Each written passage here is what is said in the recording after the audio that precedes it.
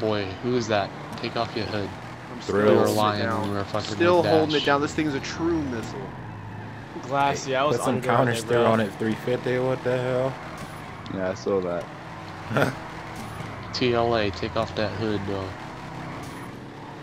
Bro, Glassy, actually the uh, sick ass line, bro. You're not even I'm actually notice about to throw it in real nice right now. Hold up.